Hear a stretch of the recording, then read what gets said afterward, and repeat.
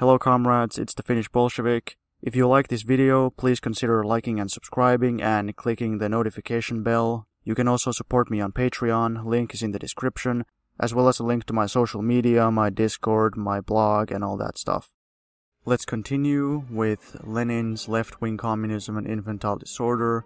We are in chapter 4, the struggle against which enemies within the working class movement helped Bolshevism develop, gain strength, and become steeled. Lenin says, quote, First and foremost, the struggle against opportunism, which in 1914 definitely developed into social chauvinism and definitely sided with the bourgeoisie against the proletariat. Naturally, this was Bolshevism's principal enemy within the working class movement. It still remains the principal enemy on an international scale. The Bolsheviks have been devoting the greatest attention to this enemy. This aspect of Bolshevik activities is now fairly well known abroad too. So, first and foremost, the Bolshevik Party developed, gained strength, and became steeled because of their struggle against right wing opportunism, economism, Menshevism, in general, all trends which tried to hinder the development of class consciousness or tried to hinder or diminish the role of the proletariat in favor of the capitalists, trends which tried to limit the struggle of the proletariat only to, say, only to trade unionism and economic struggle, or only to parliamentary struggle and reformism, or which tried to compromise with the capitalists instead of fighting against them, etc., etc. And during World War I, starting in 1914, these right wing opportunists sided with the capitalist class in the imperialist war. He continues, quote, It was, however, different with Bolshevism's other enemy within the working class movement. Little is known in other countries of the fact that Bolshevism took shape, developed, and became steeled in the long years of struggle against petty bourgeois revolutionism, which smacks of anarchism or borrows something from the latter and in all essential matters does not measure up to the conditions and requirements of a consistently proletarian class struggle. Marxist theory has established, and the experience of all European revolutions and revolutionary movements has fully confirmed, that the petty proprietor, the small master, a social type existing on a very extensive and even mass scale in many European countries, who, under capitalism, always suffers oppression and very frequently a most acute and rapid deterioration in his conditions of life, and even ruin, easily goes to revolutionary extremes, but is incapable of perseverance, organization, discipline, and steadfastness. A petty bourgeois driven to frenzy by the horrors of capitalism is a social phenomenon which, like anarchism, is characteristic of all capitalist countries, the instability of such revolutionism, its barrenness, and its tendency to turn rapidly into submission, apathy, phantasms, and even a frenzied infatuation with one bourgeois fad or another, all this is common knowledge. Unquote. And it wasn't just anarchism, there were many other similar movements, many utopian leaders, uh, Tolstoy, and various others. And of course, individuals are individuals, so even if some guy is uh, petty bourgeois originally, or even an aristocrat originally, well, he can still become a communist. It's possible, although it's very rare. So individuals can do whatever, but when we're talking about social movements and large groups of people, then we have to take into account their class origin and their class basis, and these movements, utopianism, anarchism, various movements like this, they were not based in the proletariat, they were based in the petty bourgeoisie or other classes like that, or in some cases even in the collapsing feudal aristocracy. And this is perfectly logical because Russia was a semi feudal country, it was a petty bourgeois country. Um, it was a country dominated by small producers and semi feudal classes, classes which are going bankrupt and being destroyed as capitalism is developing. And even though the aristocrats are not petty bourgeois, they're also uh, another feudal class which is being destroyed by capitalism.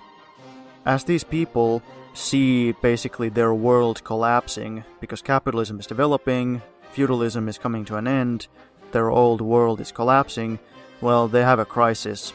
And then they might become radicalized. However, they don't become revolutionaries in a proletarian sense, instead, they become petty bourgeois revolutionists. They are often idealists, they're individualists, they're extremists. Like Lenin says, um, petty bourgeois driven to frenzy by the horrors of capitalism. The instability of such revolutionism, its barrenness, its tendency to turn rapidly into submission, apathy, phantasms, and even frenzied infatuation with one bourgeois fad or another. So these kinds of people, they have a petty bourgeois mindset. Either they look at things in a very individualistic way, or they look at things in a very idealist way, or they just have tons of uh, prejudices and sort of ideological baggage from their background, so um, they might feel guilty because they are not workers themselves. They might be kind of self hating in that sense. The proletariat as a class, because of its class nature and because of class consciousness, they are collective and disciplined and they can handle organization. But the petty bourgeois, by his very nature, uh, is not like that. They are an individual intellectual, individual business owner, individual freelancer, whatever they are. They don't like discipline. They want to be their own boss. They don't want anybody to tell them what to do, so to say. The proletariat is used to this long term, sort of arduous grind of uh, persevering and working. But these people who are from uh, upper class or petty bourgeois or even from some other non-proletarian strata, they tend to be flaky, they get into something and then they quickly give up. They're unrealistic, they jump into something expecting it's gonna be great, and when it doesn't turn out to be so great, they instantly lose hope. They don't have realistic positions, but instead they're either complete opportunists with no principles at all, or they have absolutely extremist principles and they refuse to see realities. Maybe this all sounds a little bit vague, so maybe once we get into the actual um, concrete examples, you'll see better what I mean. So Lenin says, quote, Bolshevism took over and carried on the struggle against the party which more than any other expressed the tendencies of petty bourgeois revolutionism, namely the so-called Socialist Revolutionary Party, or SR Party, and waged that struggle on three main issues. The SRs, uh, they were continuers of the Narodnik trend, so they were Russian utopians. They believed in a weird form of utopian socialism. They eventually split, and the right-wing SRs were extremely opportunist and compromised with the capitalists and allied with the capitalists, whereas the left SRs were absolute extremists. And while the right SRs mainly used reformist methods, the left SRs used terroristic methods. And the original Narodniks, too, their main form of political organizing eventually became terrorism. So the, the Bolsheviks waged a struggle against the SRs on three main points. First, that party which rejected Marxism stubbornly refused it, or, it might be more correct to say, was unable to understand the need for a strictly objective appraisal of the class forces and their alignment before taking any political action. I'm not absolutely 100% sure what this means. It could just mean that they're idealist, but I think he could mean more literally that the Narodniks they never even tried to base themselves in the proletariat, which was the new rising class. The proletariat is the modern class, the class which was gaining strength when capitalism was emerging. Instead, the SRs based themselves in the old classes, so feudal peasantry, feudal bureaucrats, and feudal intellectuals, and small proprietors and shopkeepers, and these kinds of things. He continues, second, this party considered itself particularly revolutionary or so-called left because of its recognition of individual terrorism, assassination, something that we Marxists emphatically rejected. So this is very typical. The SRs considered themselves to be the most left and the most revolutionary because they used such extremist methods like terrorism and assassinations. And this kind of thinking still exists. There's there's plenty of people who think that because they use such extreme methods, like the most violent methods, the most radical methods, bombs, killings, beating people up. Like you see, even um, not to like hate on Antifa or something, but there's a lot of people who go into Antifa thinking that oh, it's so revolutionary because we get to use violence and stuff. But really, that doesn't make you the most revolutionary or even the most left. It just it's a typical expression of this petty bourgeois mindset where you want something cool, you want cool radicalism and cool violence and you want to be like the most radical guy, which just it just proves that these people are, you know, they're larping. They're not they're not actually serious. It's all a game to them. It's just a cool hobby for them. They're like infatuated with this revolutionary romanticism like, "Oh yeah, I'm a cool revolutionary. I'm so extreme." But, you know, it just goes to show that they're not serious. And these are also like very individualistic methods. Instead of long-term, hard-working, uh, patient organizing among the proletariat, trying to build the proletariat into a strong force which can actually carry out a revolution through, you know, the power of the masses. Instead, these people want these individual acts, individual radical acts that they can carry out personally instead of trying to organize the masses. Let's move to a slightly different topic, but uh, still very related to this, expanding on these same ideas. He says, quote, The struggle that Bolshevism waged against left deviations within its own party assumed particularly large proportions on two occasions. In 1908, on the question of whether or not to participate in a most reactionary parliament and in the legal worker societies, which were being restricted by most reactionary laws, and again in 1918, the Treaty of Brest-Litovsk, on the question of whether one compromise or another was permissible. So, um, if the previous section was about ultra left fanatics, and you know, in case you don't know, ultra leftism is this the title of this book is so called left wing communism and infantile disorder, and the left wing is in quotes because it means that it's ironic. These people who say that they're so quote unquote left, uh, they're ultra leftists, but ultra leftism is actually not genuine leftism. Ultra leftism is just right wing ideology masquerading as leftism. You know, like in the previous example, these people who think that, oh yeah, I'm the most radical, they act so radical and they act so extreme, but that kind of demonstrates that they're not genuine revolutionaries. Because this individualism and this idea that there's these individual heroes who matter, and it's not about organizing, it's about extremist violence, and these kinds of things uh, are really right wing ideas, but they are trying to pass them off as some kind of super left ideas. That's why ultra leftism is really just inside out rightism. It's not really a horseshoe theory or anything like that, it's just um, being a right opportunist and being a left opportunist. They're both kind of just two sides of the same opportunist coin. Becoming an ultra leftist doesn't do you any good. You should just be a normal Marxist. You think you're becoming better by becoming, you know, oh, I'm going more left, even ultra left, but there's no such thing. There's no left there. It's all it's a it's fake. Ultra leftism is fake leftism. So, the previous section was about ultra leftism outside the Bolsheviks, just in uh, the working class movement and society as a whole. But now uh, he's talking about left deviations and ultra leftism inside the Bolsheviks. So certain members of the Bolshevik party who were making mistakes and they were slipping towards ultra leftism. That's what they call left deviation, is when you start to deviate from the correct path. And he gives us two concrete examples.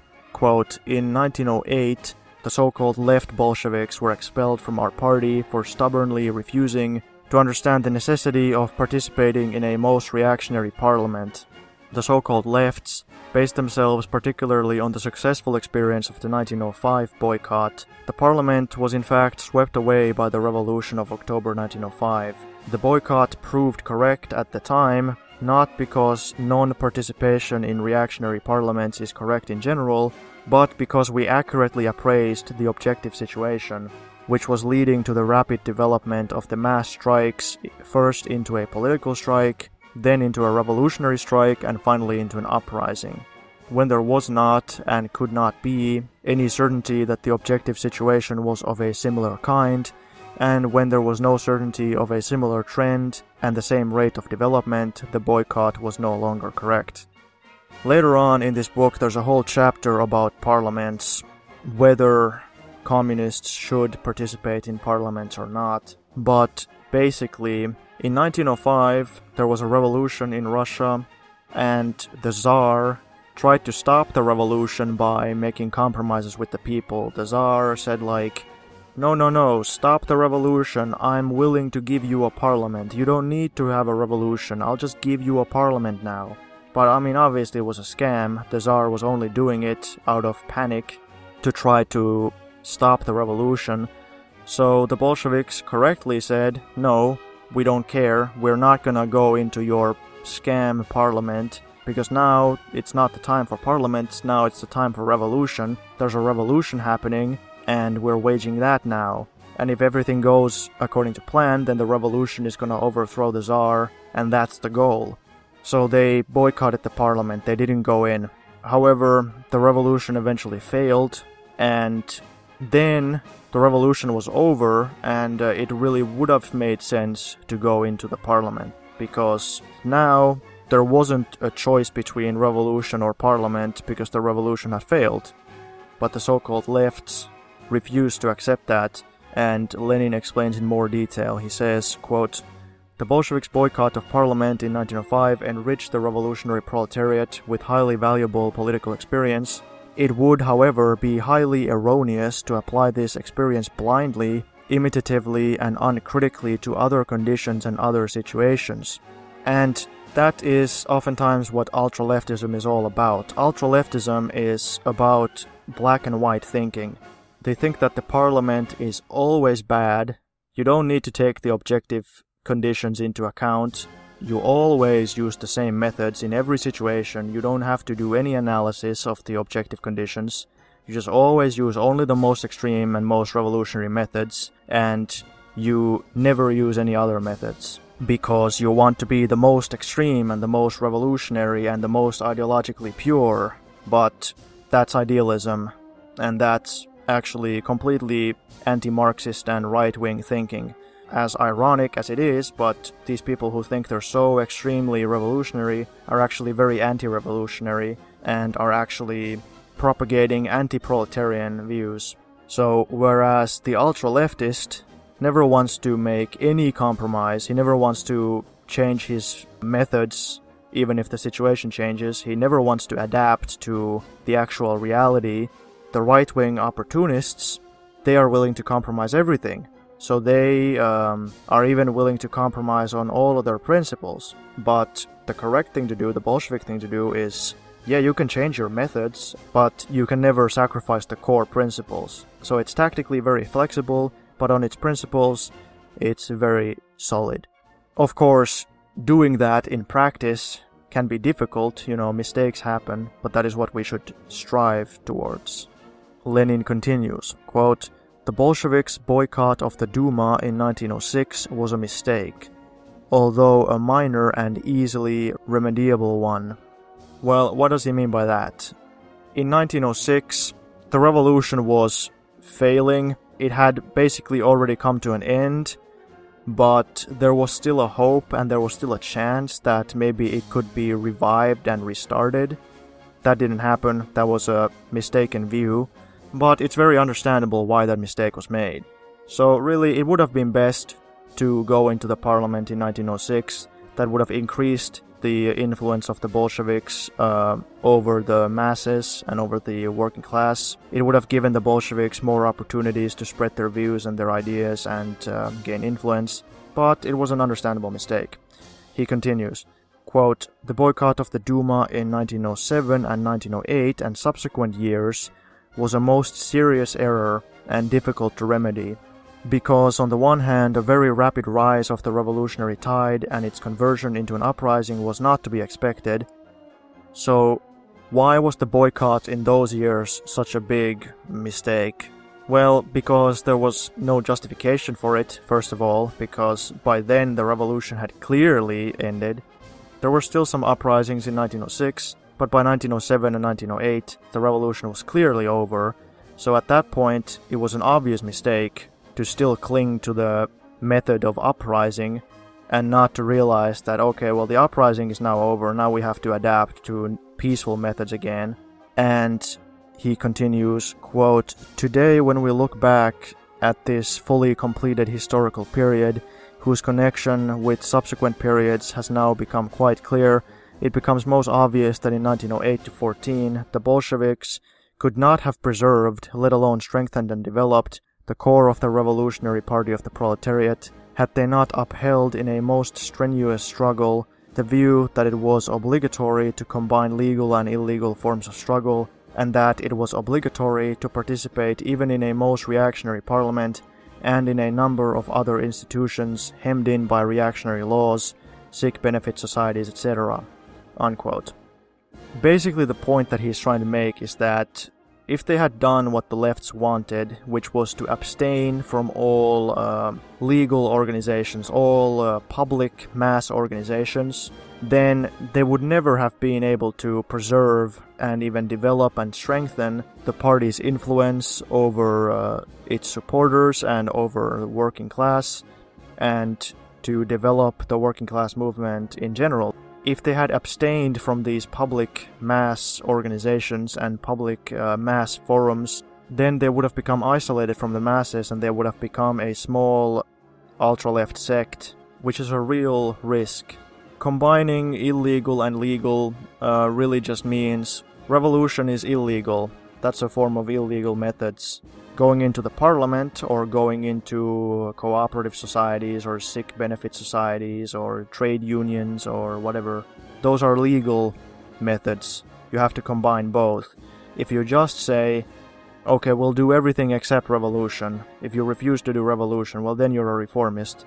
But if you say, we will only do revolution and we won't do any of those other things, we won't organize, we won't do peaceful stuff, well then you're an ultra ultra left, you're just an idealist and uh, it's never gonna happen. The purpose of using these methods, these peaceful methods, is to maintain contact with the masses, grow the party, spread your views among the masses, get more support for the party, more members for the party, all that stuff, because in a time of peace, the masses are doing peaceful stuff. And if you refuse to go into peaceful organizations, well, then you refuse to be in contact with the masses. During the revolution, of course, the masses are doing revolution, and then you have to do revolution too. But when the masses are not doing revolution, then you have to realize that and you have to act accordingly. The communists cannot do the revolution themselves. It's the masses who carry out revolutions. The communists are supposed to help and lead and guide and march in the front ranks, but they need the masses always. Lenin continues In 1918, the so called left communists formed a separate group or faction within our party. In the same year, 1918, the most prominent representatives of so called left communism, for example, comrades Radek and Bukharin, openly acknowledged their error. It had seemed to them that the Treaty of Brest-Litovsk was a compromise with the imperialists, which was inexcusable on principle and harmful to the party of the revolutionary proletariat. It was indeed a compromise with the imperialists, but it was a compromise which, under the circumstances, had to be made. There's a whole chapter in this book called No Compromises question mark, which talks about this in more detail, this idea that you can't ever make any compromises. Because that's a general ultra leftist thing, is they claim that they never make any compromises because they are idealists, they don't take into account the real world conditions, instead, they live in a fantasy land of ideology. Marxism is like a religion to them, it's not a real life living movement. So, the left comms, in this instance Radek and Bukharin, They said that no, we cannot sign the Treaty of Brest-Litovsk because it is a compromise and we can't compromise ever. What was the Treaty of Brest-Litovsk? It was a peace treaty between Russia and Germany at the end of World War One. So the Bolsheviks had promised that they are going to leave World War One. They're gonna bring peace to Russia. Of course, they would have to do it. The left comms, though, said that they can't do it because you can't ever make a peace treaty with an imperialist or capitalist country, because that supposedly goes against principles. It also had a more real life sense. The left comms claimed that if the Bolsheviks make a peace with Germany, then the German Revolution is going to have more problems, and also they would have to give some territory to Germany. However, Lenin's position was based on the recognition that they couldn't defeat Germany, they couldn't defend themselves from Germany because the Russian army had collapsed completely. There basically wasn't any Russian army left, so they couldn't defend themselves from Germany. They could either make the peace or they could all die and they could, you know, see their revolution fail. So Lenin thought, I mean, whatever, okay, we have to we have to give them some territory. Tough pill to swallow, but we have to do it. And it would be great if we could help the German workers do revolution, but we can't because we don't have any army, we don't have any resources. From an absolutely practical standpoint, there's nothing else that they can do besides just sign the peace. And uh, eventually, Lenin was able to basically force the left comms into it. But generally speaking, ultra leftists don't like to think about realities. Like I said, they see everything as black and white. You can't ever make compromises. And Lenin gives this very um, interesting further example. He says, quote, Imagine that your car is held up by armed bandits. You hand them over your money, passport, revolver, and car. In return, you are rid of the pleasant company of the bandits. That is unquestionably a compromise. I give you my money, firearms, and a car, so that you give me the opportunity to get away from you with a whole skin. It would, however, be difficult to find a sane man who would declare such a compromise to be inadmissible on principle, or who would call the compromiser an accomplice of the bandits, even though the bandits might use the car and the firearms for further robberies. Our compromise with the bandits of German imperialism was just that kind of compromise. They either sign the peace with Germany or Germany kills them all. What is there to be gained by senselessly getting themselves killed? Nothing good is gonna come of it. It's not gonna help anybody. It's not gonna help communism. In fact, it's just gonna kill the Russian Revolution. He goes on. But when in 1914 to 18 and then in 1918 to 20, the Mensheviks and socialist revolutionaries in Russia entered into compromises with the bandits of their own bourgeoisie against the revolutionary proletariat of their countries, all these gentlemen were actually acting as accomplices in banditry. Pretty ironic, the SRs who, you know, sometimes they act as complete ultra-lefts and extremists, but then they also collaborated with the Russian imperialist bourgeoisie, which just goes to show that the ultra-leftist of today is the right opportunist of tomorrow, or the right opportunist of today is the ultra-leftist of tomorrow. They're both just different sides of the same coin. Quote, the conclusion is clear. To reject compromises, quote unquote, on principle to reject the permissibility of compromises in general, no matter of what kind, is childishness, which it is difficult even to consider seriously. A political leader who desires to be useful to the revolutionary proletariat must be able to distinguish concrete cases of compromises that are inexcusable and are an expression of opportunism and treachery. It is very annoying and very inconvenient, but it's true that you have to actually analyze concrete cases and objective conditions. You can't just say all compromises are always bad or no compromise is ever bad. No, uh, unfortunately, it's not as simple as that. You have to really look at the objective conditions and each case. He goes on, one must learn to distinguish between a man who has given up his money and firearms to bandits so as to lessen the evil they can do and to facilitate their capture and execution, and a man who gives his money and firearms to bandits so as to share in the loot. Unquote.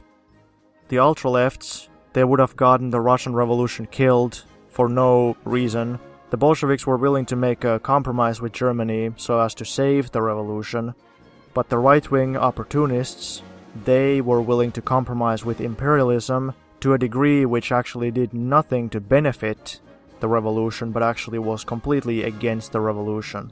They supported the imperialist war effort. And why don't I give two other historical examples? One of them is from a long time ago, and another one is recent. So, the Soviet Union in World War II. Sometimes people say, well, how could the Soviet Union work with the Western Allies against Nazi Germany? The Soviet position was that they would work with all anti fascists. So, as long as you're an anti fascist, good, we have a common enemy, let's defeat the fascists makes sense to me. But an ultra left might say, no, you can't ever work with any anti fascists except uh, people who are also communists. Well, what does that do? That actually that actually strengthens fascism and it helps fascism. It would have made the Soviet Union weaker. It would have made the war devastation worse. It would have given the fascists more power. And for what? Because of um, you know their so-called ideological purity. They don't want to be tainted because they work with the Western allies. And sure, it is a little strange how you end up in a situation like this, but let's remember that the Western allies, they didn't like the Soviets, they would have never wanted to work with the Soviets, they never even wanted to oppose fascism. So they were on the wrong side of history until they were forced temporarily on the right side of history. Well, how did they get forced? Because the fascists attacked France, attacked the UK, attacked uh, the United States and the Soviet Union. And that is why they all ended up on the same side. So, okay, the Soviet Union is willing to work with American bandits so that they can take out even worse bandits, the German Nazis, and after that, they don't have any friendship for the Americans anymore. It would have been different if they had stayed allies with the Americans, or if they had um, become allies with American capitalists for imperialist purposes or something. That would have been quite different. And that brings me to the other example. So, Rojava. So, the Kurds in Rojava, they are an oppressed nationality. They wanted to have their own state, their own national territory. So, they were willing to ally with American imperialism so that they can conquer a territory from Syria, which was uh, an independent country being attacked by the US imperialists. So they were doing exactly what Lenin here says, uh, helping and joining up with the bandits to share in the loot. They were like, "Oh, Americans, you are uh, you're attacking Syria. Cool. We we also want to join." So, so Rojava helped the U.S. set up military bases in there. The US gave them weapons, uh, funds, and uh, military support and trained them and, you know, helped them to act as their mercenaries and their pawns. And what happened? The US betrayed them and abandoned them. And I mean, that's the same thing that always happens. You might be able to use contradictions between imperialists to your own advantage. So, let's say you might be able to use the Western allies against uh, Nazi Germany but if you ally with the imperialists on their terms, then they're just using you. So they used the Kurds as long as it suited them and then they threw them away.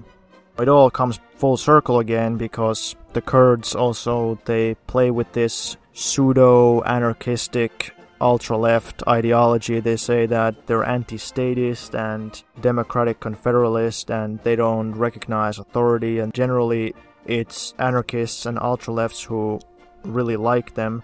So today you're an ultra left, tomorrow you're a right wing opportunist, the day after tomorrow you're an ultra left again. It shows a lack of an ideological foundation. When you don't have a firm proletarian scientific foundation, which Marxism provides, then then you just waver all over the place.